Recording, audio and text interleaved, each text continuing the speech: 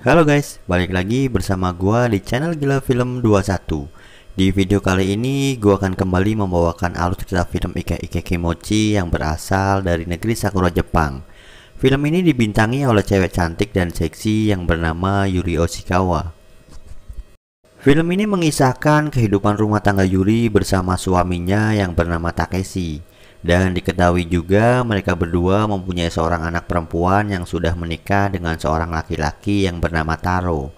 Dan kebetulan anak dan menantunya itu masih tinggal satu rumah dengan si Yuri. Buat kalian yang penasaran dengan alur ceritanya, tonton terus video ini sampai selesai. Dan buat kalian yang belum subscribe channel gua, jangan lupa klik tombol subscribe biar gua makin semangat bikin video-video yang lainnya. Gak usah berlama-lama lagi, kita langsung saja ke alur ceritanya.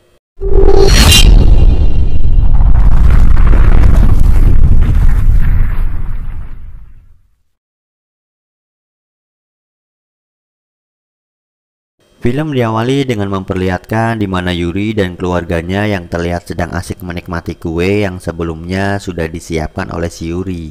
Sambil menikmati kue yang begitu enak, mereka berempat sempat ngobrol-ngobrol membahas tentang kehidupan rumah tangga Taro dan istrinya. Namun di saat sedang asik ngobrol, tiba-tiba mata Taro tak sengaja melihat belahan gunung kembar milik Yuri yang terlihat jelas di depan matanya.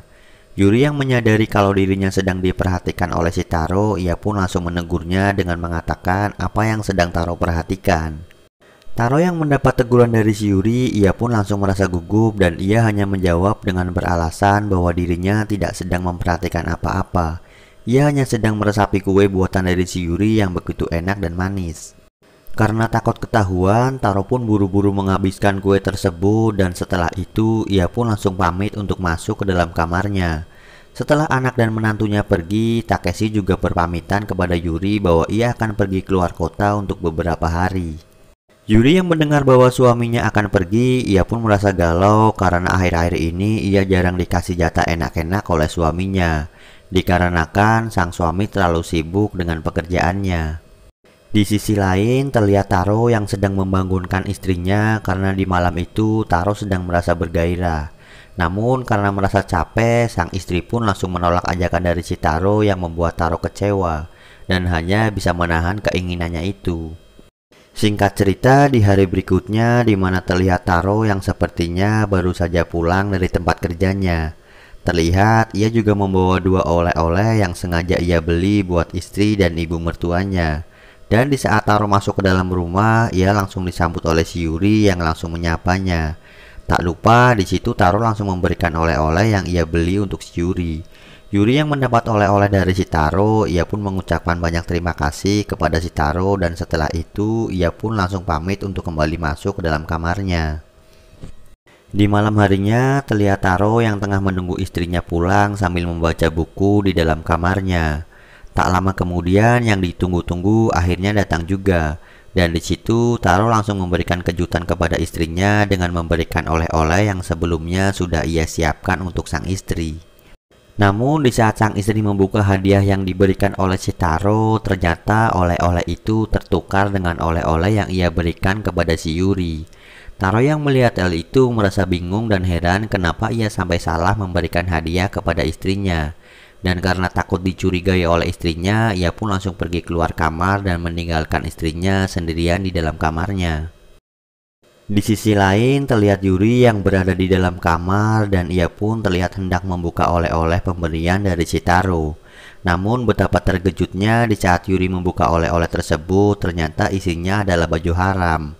Dan di situ Yuri sempat berpikir kenapa tiba-tiba Taro memberikan sebuah baju haram kepada dirinya. Karena terlihat lucu, akhirnya Yuri pun coba memakai baju haram tersebut. Dan di saat Yuri mencobanya, ternyata baju itu cocok di saat Yuri memakainya. Namun lama-kelamaan Yuri yang melihat keindahan tubuh miliknya sendiri, ia pun perlahan-lahan mulai terangsang. Dan pada akhirnya Yuri yang merasa sudah tidak tahan, ia pun mulai melakukan senam dua jari di dalam kamarnya. Di saat Yuri sedang asik melakukan senam dua jari, ternyata tanpa ia sadari aktivitasnya itu sedang ditonton oleh si Taro dari balik pintu kamarnya itu. Singkat cerita, di hari berikutnya di mana terlihat Yuri yang sedang duduk sendirian di salah satu ruangan di rumahnya itu. Namun tiba-tiba datang Taro yang langsung menghampiri dan langsung menyapanya. Taro yang melihat Yuri sedang melamun, ia pun coba menanyakan apa yang sedang Yuri pikirkan sampai-sampai raut muka Yuri terlihat begitu murung. Dan di situ Yuri hanya menjawab bahwa ia sedang merasa kesepian karena beberapa hari ini suaminya selalu saja pergi keluar kota. Mendengar perkataan si Yuri, otak kotor Taro pun mulai bereaksi dan tanpa berpikir panjang di situ Taro langsung merayu dan mengajak Yuri untuk melakukan adegan pengecerotan dengannya di saat keadaan rumah sedang sepi. Terlihat Yuri sempat menolak ajakan dari si Taro karena ia takut nantinya perbuatan mereka berdua akan diketahui oleh anak dan suaminya. Namun karena sudah tidak tahan melihat keindahan tubuh si Yuri, Taro pun tidak memperdulikan perkataan dari si Yuri. Dan ia pun langsung memaksa dan langsung mengejut si Yuri di ruangan itu. Di malam harinya, terlihat Yuri dan keluarganya sedang asik mengobrol sambil menikmati kue yang dibeli oleh suaminya yang baru saja pulang dari luar kota. Namun di tengah-tengah obrolan tiba-tiba Taro mengeluarkan sebuah remote control untuk mengaktifkan alat getar yang ia pasang di dalam lubang belut milik si Yuri. Di saat Yuri mulai keenakan, Taro pun mulai berfantasi dengan membayangkan betapa enaknya apabila ia bisa mengejut si Yuri di depan ayah mertuanya dan di depan istrinya. Singkat cerita, setelah acara ngobrol-ngobrol selesai, terlihat Yuri yang sedang tidur bersama suaminya. Tiba-tiba ia dihampiri oleh si Taro yang langsung menyuruh Yuri untuk kembali memakai baju haram yang ia bawa. Setelah Yuri memakai baju haram, di situ Taro langsung mengejut Yuri tanpa memperdulikan kalau di samping Yuri sedang ada suaminya yang sedang tertidur pulas. Dan film pun selesai. Terima kasih buat kalian semua yang sudah nonton video ini sampai selesai. Dan jangan lupa klik tombol like dan subscribe biar gue makin semangat bikin video-video yang lainnya. See you next time.